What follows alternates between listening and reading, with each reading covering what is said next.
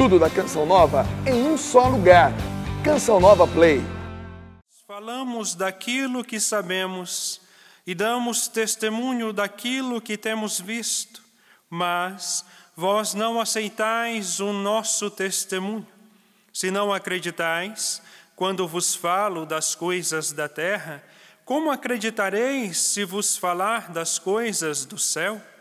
E ninguém subiu, e ninguém subiu ao céu a não ser aquele que desceu do céu, o Filho do homem.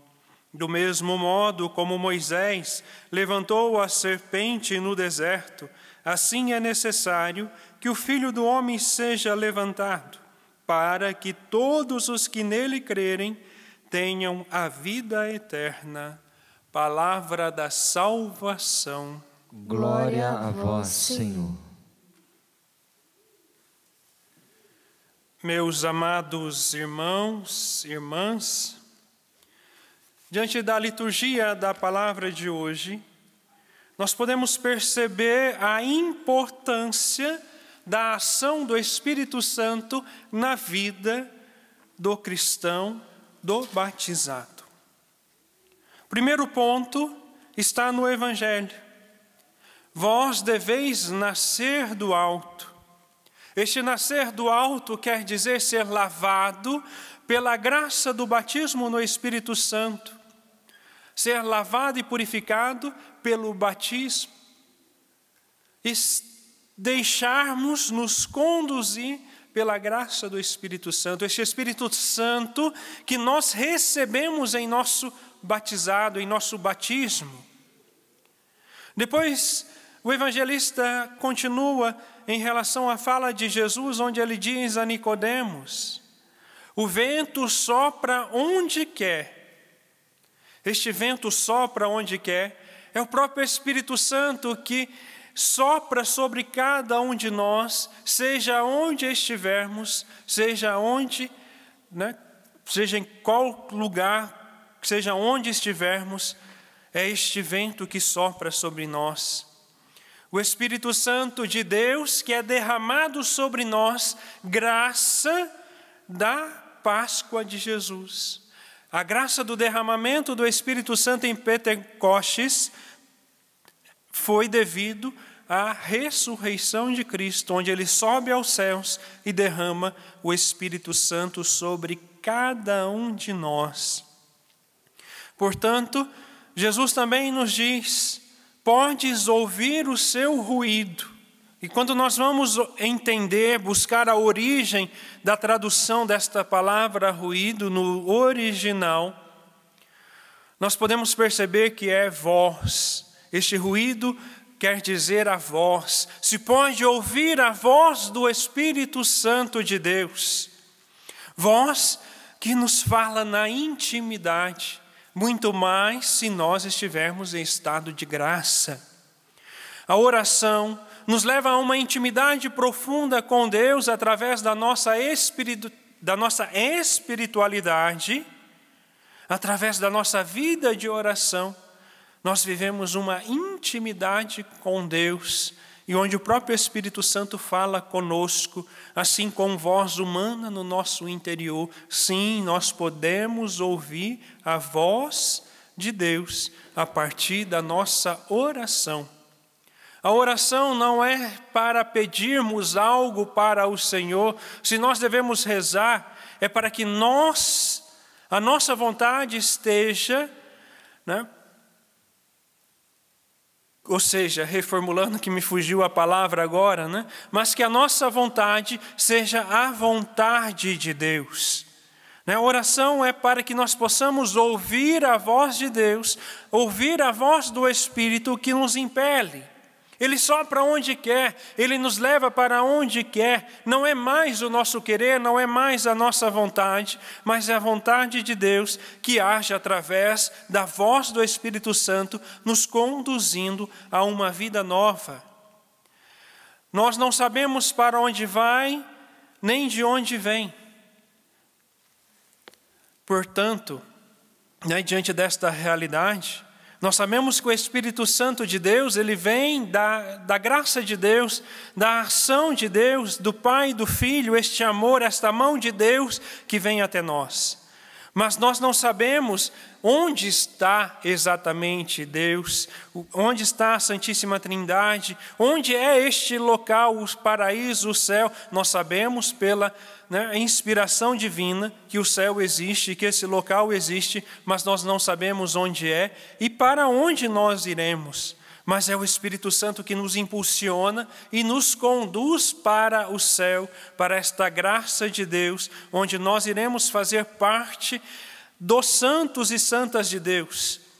Por isso, nós precisamos nos deixar ser conduzidos pelo Espírito Santo, pedindo diariamente a força do alto. O segundo ponto é a ação do Espírito Santo na nossa vida, o que ela causa. Nós podemos ver esta graça, né, as consequências do batismo no Espírito Santo, na leitura do livro do Ato dos Apóstolos, no capítulo, no capítulo 4, versículo 32, 37. A multidão dos fiéis era um só coração, uma só alma. Ninguém considerava como que próprias as coisas que possuía, mas tudo entre eles era posto em comum e ninguém passava necessidade.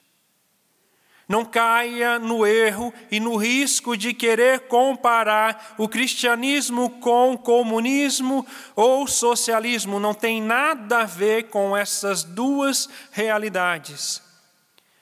Viver a graça do Espírito Santo é viver a caridade. Aquilo que, que eu tenho, que está sobrando, não me pertence, porque tem alguém nesse exato momento morrendo de fome ou de frio ou porque não tem onde morar, ou passa por, por alguma necessidade, ou porque está no leito de hospital e não tem dinheiro para pagar uma conta, ou não tem dinheiro para um medicamento. O egoísmo humano retém tudo para si, mas o cristão, aquele que vive verdadeiramente a fé cristã, a fé católica, se coloca a serviço do outro, porque ele fez uma experiência com uma pessoa. Não é com um pensamento ideológico, mas o cristão, ele precisa fazer uma experiência real com nosso Senhor Jesus Cristo através da graça do batismo do Espírito Santo, através da efusão no Espírito. Por isso, aquele que é conduzido pela graça do Espírito Santo não considera nada como se fosse seu, mas coloca a serviço do próximo, ninguém passa necessidade, todo mundo vive em um só coração, em uma só alma.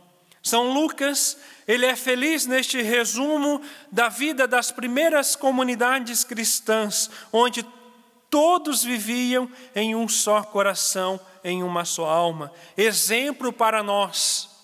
Ao longo da história da igreja, nós vamos perceber que este trecho do Ato dos Apóstolos né, é tido como referência para voltar à origem Assim como os monges, os eremitas nos inícios, do, nos inícios né, da igreja, diante da da realidade onde muitos se desviavam da realidade da fé cristã, da originalidade da fé cristã, retomam o ato dos apóstolos e dá início à vida monástica, a um novo tempo para a igreja. Por isso, hoje, nós, cristãos católicos, em meio a esta pandemia, somos chamados a olhar para o livro do Ato dos Apóstolos, entendermos esta realidade do Espírito Santo de Deus que sopra onde quer, onde quer.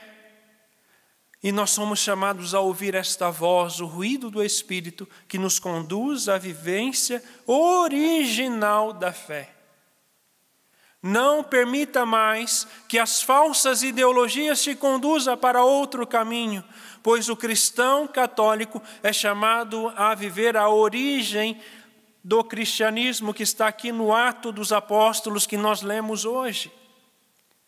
É chamado a olhar para a doutrina da igreja, a dar uma resposta diferente neste tempo em que vivemos, onde somos chamados a vivermos como igreja doméstica como igreja doméstica.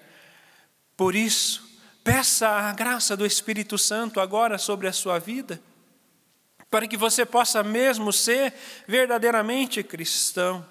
Peça ao Espírito Santo de Deus que te visite nesta tarde e te leve à experiência de uma nova efusão do Espírito Santo, para que você possa dar uma resposta diferente em meio à situação que a humanidade vive hoje. Então peça mesmo, vem Espírito Santo de Deus, sopra sobre a minha vida, sobre todo o meu ser, Vem Espírito Santo de Deus como este vento impetuoso, que nós não sabemos de onde vem nem para onde vai, mas nos conduza através da Sua voz, através da Sua vontade. Vem Espírito Santo de Deus, se nós perdemos a originalidade do cristianismo, que nós possamos voltar a esta originalidade, que nós possamos viver a nossa fé em nossa casa, onde nós estivermos que nós possamos ser verdadeiramente cristãos, católicos, comprometidos com próximos. Sim, Espírito Santo de Deus, derrame, derrame sobre nós a tua graça e expulse do nosso coração o egoísmo que nos leva a querer reter tudo para nós, a querer ter somente para nós e deixar que os outros não é passe fome, passe necessidades, não. Vem Espírito Santo de Deus, nos dê a graça do amor verdadeiro que brota de Deus Pai, que gera o próprio Filho, que gera a Ti, Espírito Santo de amor. Vem Espírito Santo Consolador, vem Espírito Santo Defensor, vem Espírito Santo de Deus Ensina-nos a sermos verdadeiramente cristãos católicos, comprometidos com a verdade. Não permita, Senhor, que a perseguição, que as incompreensões, que os julgamentos nos calem, mas pelo contrário, que a nossa voz seja a sua voz em meio a este mundo que está em pleno caos. Não pelo, por causa da pandemia do coronavírus, mas por causa do caos do pecado, que é pior do que este vírus. Vem, Espírito Santo de Deus, encha-nos de esperança, mas que nós sejamos canais de esperança para os outros. Então cante agora, meu amado irmão, e faça desta oração, desta canção a sua oração mas deseje verdadeiramente ser batizado pelo Espírito Santo de Deus, ser lavado e ser purificado. Por isso, cante, cante. O vento sopra onde quer, você ouve o ruído, mas não sabe de onde vem nem para onde vai. Assim acontece com aquele que nasceu do Espírito. Assim acontece com aquele que nasceu do Espírito. O vento sopra onde quer, mais uma vez. O vento sopra onde quer, você ouve o ruído, mas não sabe de onde vem nem para onde vai.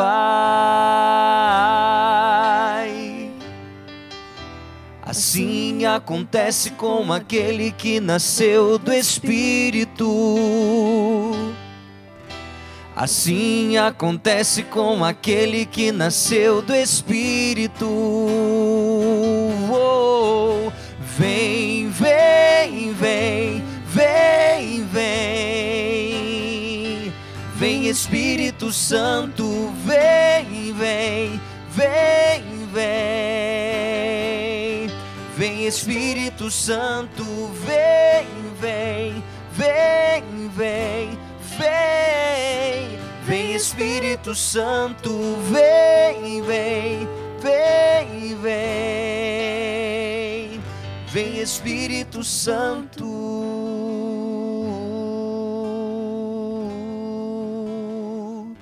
Vem Espírito Santo.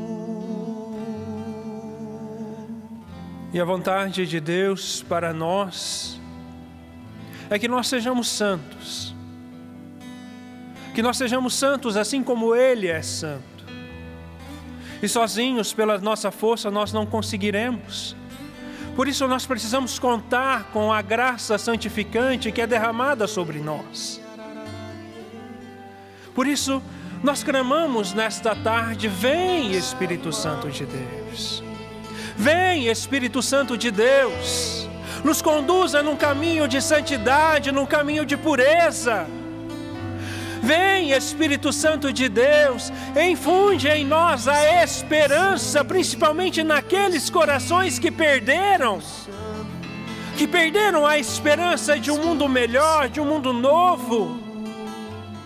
Vem, Espírito Santo de Deus, fortalece o nosso ser.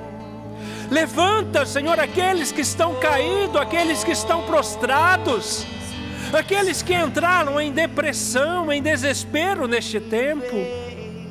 Levanta, Senhor, essas pessoas que estão deitadas em suas camas, desesperadas porque está faltando alimento em suas casas. Mas, Senhor, Coloque principalmente no coração daqueles que têm e que podem dividir o dom da caridade. Vem, Espírito Santo de Deus. Vem, Espírito Santo, vem, vem. Tudo da Canção Nova em um só lugar. Canção Nova Play.